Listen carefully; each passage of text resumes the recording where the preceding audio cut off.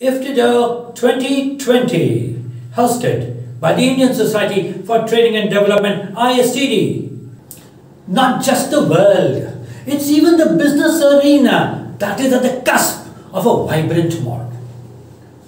While the VUCA world of uncertainty and ambiguity is here to stay, you and me can leapfrog to the window opportunities chiseled by strategic learning.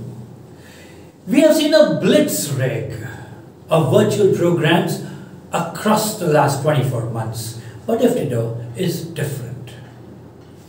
It comes as a breath of invigorating fresh learning.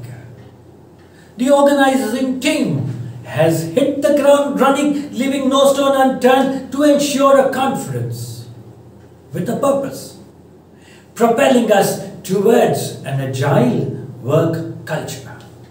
And what gives teeth is the cherry picking of the finest brains from across the planet. I, Atul Shah, Director of the Goa Institute of Training and Studies, GITS India, and the Chairperson of Goa ISTD, invite you.